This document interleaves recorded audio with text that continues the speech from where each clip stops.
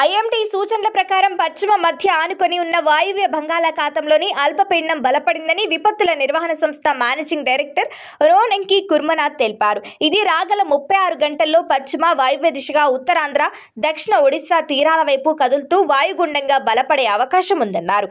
దీని ప్రభావంతో శనివారం అక్కడక్కడ భారీ వర్షాలు ఆదివారం అక్కడక్కడ మోస్తారు నుంచి భారీ వర్షాలు మిగిలిన చోట్ల తేలికపాటి వర్షాలు పడే అవకాశం ఉందని వెల్లడించారు.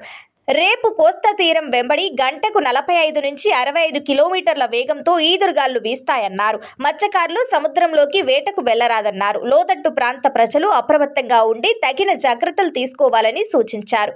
ఇక వర్షాలతో పాటు పిడుగులు పడే అవకాశం ఉన్నందున పొలాల్లో పనిచేసే రైతులు వ్యవసాయ కూలీలు పశుగొర్రెల కాపర్లు చెట్ల క్రింద పోల్స్ టవర్స్ క్రింద బహిరంగ ప్రదేశాల్లో ఉండరాదని సూచించారు. కృష్ణా నది వరద ప్రవాహం దిగువకు విడుదల చేస్తున్నందున నదీ పరివాహక ప్రజలు అప్రమత్తంగా ఉండాలన్నారు. నది వాగులు దాటే ప్రయత్నం చెయ్యరాదని సూచించారు. శ్రీకాకుళం విజయనగరం పార్వతీపురం మన్యం అల్లూరి సీతారామరాజు విశాఖపట్నం కర్నూలు నంద్యాల అనంతపురం వైఎస్ఆర్ జిల్లాల్లో అక్కడక్కడ భారీ వర్షాలు కురిసే అవకాశం ఉందన్నారు. అనకాపల్లి కాకినాడ కోనసీమ తూర్పు గోదావరి పశ్చిమ గోదావరి ఏలూరు కృష్ణా ఎన్టీఆర్ గుంటూరు బాపట్ల పల్నాడు. ప్రకాశం శ్రీ సత్యసాయి అన్నమయ్య చిత్తూరు తిరుపతి జిల్లాలో అక్కడక్కడ తేలికపాటి నుంచి మోస్తారు వర్షాలు కురిసే అవకాశం ఉందన్నారు.